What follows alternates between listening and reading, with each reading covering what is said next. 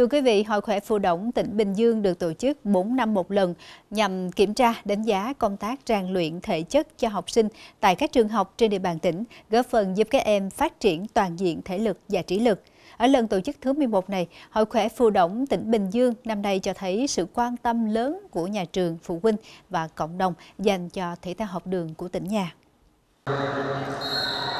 Hội khỏe phụ động tỉnh Bình Dương lần thứ 11 năm học 2023-2024 được tổ chức 13 môn thi đấu,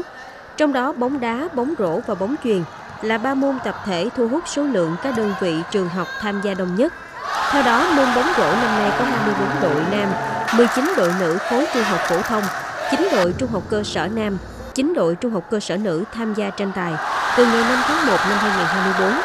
Bóng rổ tuy đến với các trường học muộn hơn so với bóng đá hay bóng chuyền, nhưng không thể phủ nhận sức hút của quả bóng màu cam đối với các em học sinh.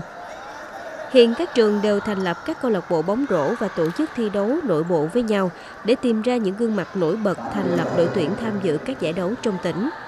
Những trận chung kết bóng rổ trong khuôn khổ Hội khỏe phụ Động tỉnh Bình Dương luôn hấp dẫn quyết liệt và nhận được sự cổ vũ nhiệt tình trên các khán đài. Kết quả chung cuộc, trường Trung học phổ thông Nguyễn Trãi giành hạng nhất nội dung nữ, còn trường Trung học phổ thông Trịnh Hoài Đức hạng nhất nội dung nam. Ở khối trung học cơ sở, nam thủ dầu 1 và nữ dĩ an thâu tóm các giải cao nhất.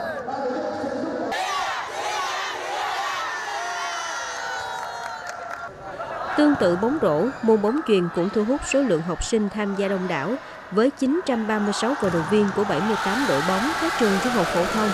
phòng giáo dục đào tạo trong tỉnh.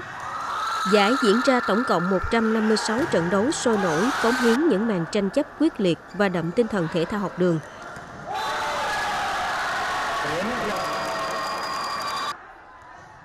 Nếu như bóng chuyền, bóng đổ, lứa tuổi tham gia là cấp trung học cơ sở, trung học phổ thông, thì bóng đá có thêm sự góp mặt của khối tiểu học.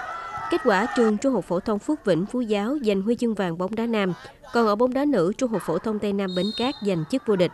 Ở khối trung học cơ sở, nữ thành phố Thủ Dầu Một và nam thành phố Dĩ An giành huy chương vàng, còn khối tiểu học Thuận An, thành phố Thủ Dầu Một, Dĩ An nằm trong top 3. Kết quả này phản ánh rõ nét sự quan tâm đầu tư dành cho phong trào thể thao học đường tại các trường trong tỉnh. Các bạn quá tuyệt vời luôn ạ. À, đá thiếu người nhưng mà tỷ số là 2-0 dành cho trận chung kết. Em cảm ơn ờ, tất cả mọi người trong đội và nhất là thầy Sinh Hiếu, thầy Cường cùng ờ, ban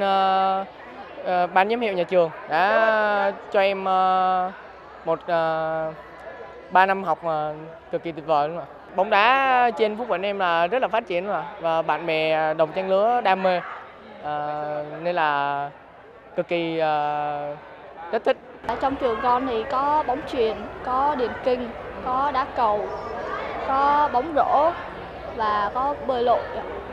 À, nhà trường sẽ tạo cơ hội cho tụi con tập luyện khá nhiều ạ. À, học khỏe hoạt động năm nay tới giờ phút này thì ba môn mà đông nhất là bóng đá, bóng chuyền, bóng rổ thì đã tổ chức xong. Ờ, các em thì các trường tham gia đông, được sự ờ, quan tâm, ủng hộ của lãnh đạo của các trường học, của đồng thuận của cha mẹ học sinh và ờ, thỏa được cái niềm mong chờ của các em hàng năm là được tham gia thi đấu hội khỏe hoạt động cấp tỉnh rồi giải thể thao cấp tỉnh. Giải năm nay thì về trình độ chuyên môn thì càng ngày thì các em nó càng hay hơn. Lý do là nó tập luyện nhiều hơn và cái điều kiện sân bãi cơ sở vật chất thì à, hàng năm thì à, tốt hơn. Cụ thể là năm nay à, chúng tôi được sự ủng hộ của câu lạc bộ Kawasaki Fontaine để có sân bãi tốt cho các em thi đấu.